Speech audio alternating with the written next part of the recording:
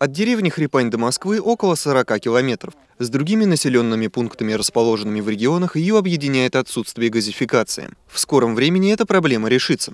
По программе газификации голубое золото появится и в Хрипане. Здесь у нас проблема отсутствия газификации данной территории. Здесь э, около 15 улиц а газа нет. Соответственно, наша задача стратегической администрации была подвести сначала сюда трубу высокого давления, и сейчас у нас проектируется а, газопровод низкого давления. Газопровод уже спроектирован, а, зарегистрирован в Мособлгазе, и для получения финансирования на строительство, э, на строительство этого газопровода, э, получение субсидий из правительства Московской области, нам нужно пройти госэкспертизу. Запроектировано, что все участки, которые здесь находятся, это около 270 домов, вдоль каждого дома пройдет э, труба низкого давления, от которого уже жители смогут подключиться. Я, как и все мы здесь, очень заинтересован в том, чтобы газ пришел в деревню Хрипань, которая находится всего на все там в 20-30 километрах от Москвы. Вот. Мы давно занимаемся этим вопросом, в принципе.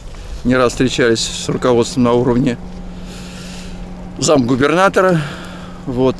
И наконец-то думаем, что после решения Путина о том, что надо газифицировать в первую очередь свою страну. Надеемся на то, что газ все-таки дойдет. Местные жители спасаются как могут. Дрова, уголь, печное отопление. Здесь распространенный способ держать свое жилье в тепле. Однако можно встретить и другие методы. Электричеством. То есть у меня дом недостаточно, не такой большой, поэтому мне как бы хватает тех мощностей, которые я получил от Мосэнергосбыта. Но в принципе, конечно, это на сегодняшний день достаточно дорогое удовольствие. Поэтому думаю, что переход на газ позволит нам сэкономить.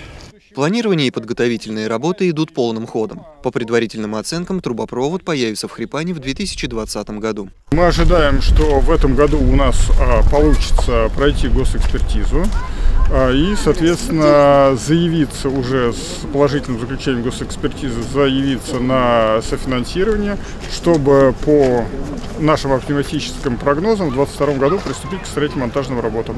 Сергей Дружинин, Игорь Чернышов для программы «Городские вести».